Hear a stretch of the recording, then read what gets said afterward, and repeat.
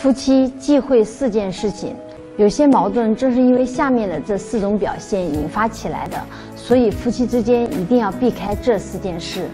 一、生活中总是反着干。从家庭生活上来说，柴米油盐都是生活，难免会磕磕碰碰的。有的时候难免两个人会有矛盾，这个时候两个人一定要理智一点，不要因为今天自己老婆没给自己吃荤的就不高兴了。再说，女人也不一定就是给男人做饭的，所以有的时候男人应该理解一下自己的老婆，不要和她对着干。对于问题，两个人应该商量着来看，看看这件事应该怎么做。这样的话，你们之间还会反着干吗？二，对于对方的问题会满不在乎。对对方的所有事情都不关心，不管是生活上还是在社会的关系上，当你遇到困难的时候，他也会睁一只眼闭一只眼。特别是当你和婆婆之间产生问题的时候，向她诉说的时候，她总是漠不关心。有的时候婆媳关系之间的确是多，但是也不能当看不见吧，应该学着积极的解决，否则你们两个人就会有摩擦。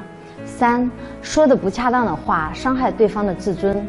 当在工作上和生活上的事情做得不如别人有能力的时候，他就会说：“你看看人家的老婆，你看看人家的老公。”其实这样是最伤害一个人的心的。夫妻两个人应该彼此的信任，而不是相互的挖苦对方。两个人搭伙过日子，就要学会生活。别人的永远是别人的，不是你自己的。所以不要再说这句话去伤害对方。四。沉默成了家常便饭。两个人夫妻之间本身白天就各自忙各自的工作，但是到了晚上，两个人不应该对彼此陌生。毕竟两个人是夫妻，夫妻生活也是关系感情的前提，所以必须引起重视。沉默就是所有矛盾的根源。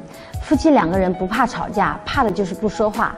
这样的话，两个人迟早要离婚，都没有了共同话题，在一起还有什么意思？男人在家应该主动一点，在夫妻两个人之间还存在高冷，你说还有什么意思呢？婚后两个人一定要独立，不要依靠对方。